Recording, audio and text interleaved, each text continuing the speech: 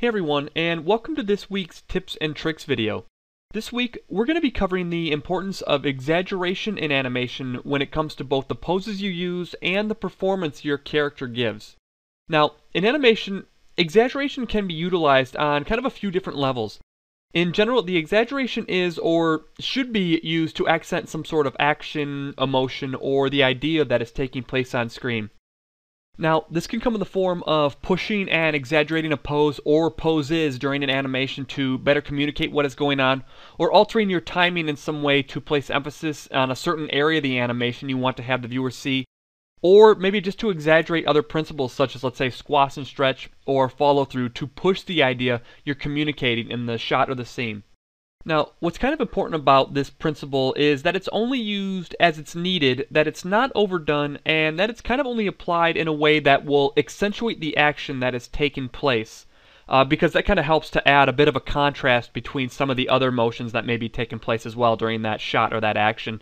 So for starters, let's go ahead and look at some, some posing examples here and talk a bit about what I mean.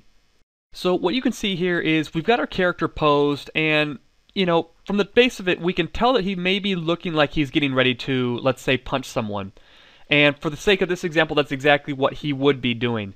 Now, this pose, you know, if you look at it how it reads, it kind of reads, it reads fairly well. I mean, you can see the clenched fist, you can see he's kind of, he's got a stare which may be staring at a target that's, I'm assuming, would be close to him within punching range.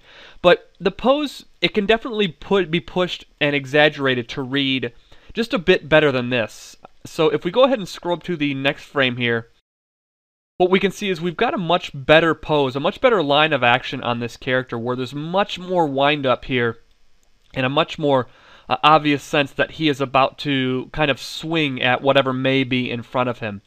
Now, one good way to kind of test your poses inside Maya here is if you hit the 7 key, what this is going to do is is going to basically change it up so it's in lighting mode only, so you're basically going to be able to see the silhouette here of your character. So if we kind of scrub back and forth, we'll see that the character's line of action is fairly boring here in the first pose, but if I scrub to the second, it's quite apparent that it's much more interesting and exaggerated in this second pose here. So just kind of keep this in mind as you begin to kind of block out your animation Okay, so next, let's go ahead and look at an example of exaggeration in an actual performance.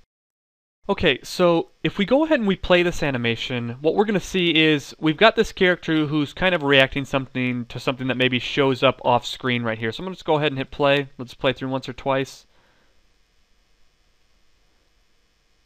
And he looks maybe somewhat startled, but the performance itself and the action that he's doing is pretty pretty dull and it's not very exaggerated here. He's reacting to it, but there's not really anything particularly interesting or exaggerated about the motion. It's just kind of fairly plain. So if we go ahead and open this other example, what we'll see is we're going to have a performance that is much more exaggerated and a much more exaggerated response than what we saw in the first animated example.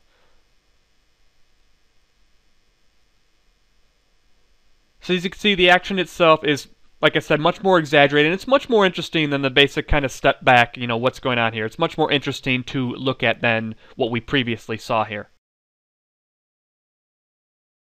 Okay, so when piecing together an animation, just kind of keep this principle in mind when kind of piecing together your poses and both the performance that you're creating with those poses. You know, a kind of a clever use or a good use of exaggeration can really bring much more appeal and attention to the animation you're actually creating.